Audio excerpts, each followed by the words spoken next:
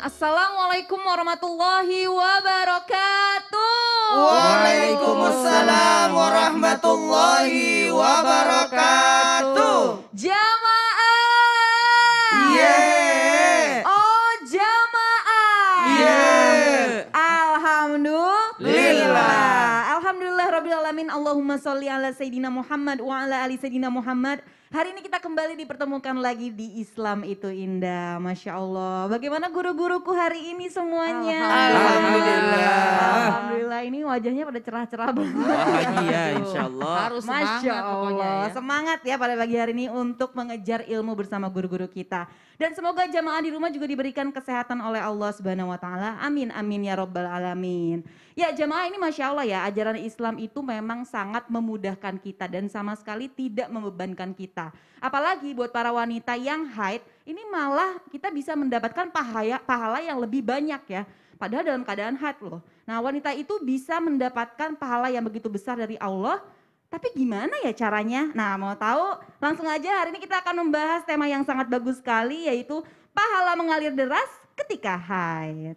Masya Allah. Nah ini langsung aja kita tanyakan kepada Ustadz Syam ya. Iya. Ustadz Syam apa kabar? Alhamdulillah sehat. Baca Alhamdulillah, sehat. Sehat. Alhamdulillah. Tanyain dong, sudah berapa bulan Oh ya istrinya udah hamil? berapa bulan istrinya sekarang? Masya Allah. Enggak ngitung sebenarnya tiga bulanan lah kali. Oh ya. Masya Allah. Bismillah semoga sehat terus ya Ustadz Syam Amin, ya. amin, amin, amin. Halo Jihan.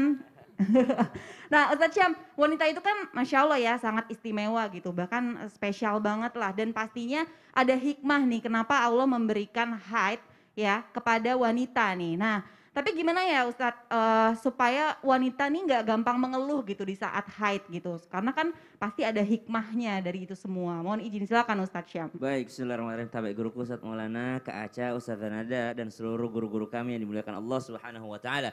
بسم الله الرحمن الرحيم الحمد لله رب العالمين والصلاة والسلام على أشرف الأنبياء والمرسلين سيدنا محمد وعلى آله وصحبه أجمعين أصبحنا وأصبح الملك لله رب العالمين سبحانك لا علم لنا إلا ما علمتنا إنك أنت العليم الحكيم رب اشرح لي صدري ويسر لي أمري واحلل عقدة من لساني يفقه قولي واجعل لي وزيرا من أهلي آمين آمين آمين يا رب العالمين Allah Subhanahu wa taala dengan detail kita dijelaskan oleh Allah dalam Al-Qur'an.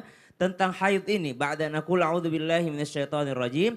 Wa yas'alunaka 'anil mahid. قل هو أذى فاعتزلوا النساء في المحيض ولا تقربوهن حتى يطهرن dan orang-orang bertanya dan umatmu bertanya kepadamu Muhammad tentang haid, maka katakanlah bahwa haid itu adalah sesungguhnya adalah sebuah kotoran. Namun ternyata ketika dia uh, dalam keadaan kotor maka jauhilah. Karena pada zaman dahulu ketika ada seorang wanita haid maka diasingkan dari sebuah kampung. Dianggap sesuatu yang maaf menjijikkan. Namun Islam datang mengangkat derajat wanita tidak harus dijauhkan namun tidak untuk mendekatinya selama masa haidnya. Ini hikmah yang pertama bagaimana Allah menjelaskan kesempurnaan ajaran Islam. Yang kedua, hikmah bagi seorang wanita ketika dia sedang haid bahwa Allah memberi, memberikannya libur gitu.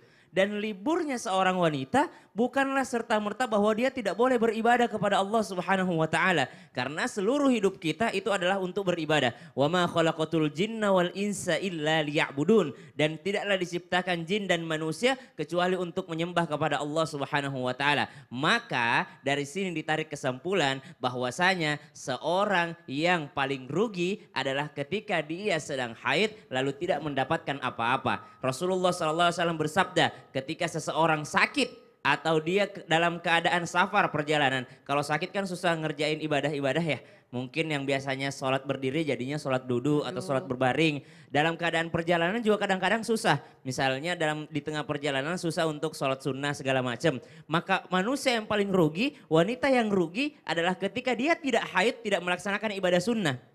Ya, kenapa? Karena ketika dia haid, dia melaksanakan ibadah. Ketika dia sedang tidak, eh, ke- ketika dia sedang tidak haid, dia melaksanakan ibadah. Ketika dia sedang haid, pahalanya mengalir. Jadi kalau dia tidak sedang haid hanya melakukan ibadah fardu, ibadah wajib, maka dapatnya ketika haid hanya mendapatkan pahala wajib. Masya Allah. Iya, tapi kalau ketika dia tidak haid, dia melaksanakan subhanallah, ibadah sunnah, terbiasa qobliyah, ba'diyah, duha, tahajud, maka ketika dia sedang haid, dapat pahala itu juga. Makanya rugi banget kalau ketika dia eh, sedang tidak haid lalu tidak melaksanakan ibadah sunnah. Nah pertanyaan mungkin selanjutnya, yang mana sih yang disebut dengan haid itu? Definisi haid dulu deh. Haid itu adalah menurut para ulama, kalau cukup darah yang keluar selama 24 jam, satu hari satu satu malam. Kalau nggak cukup dengan itu belum termasuk kategori haid. Dan paling lama kapan? Paling lama menurut jumhur ulama adalah 15 hari lamanya. Walaupun menurut eh, madhab Hanafi mengatakan bahwa maksimal 10 hari. Masya Allah. Minimalnya, Minimalnya? satu kali 24 jam.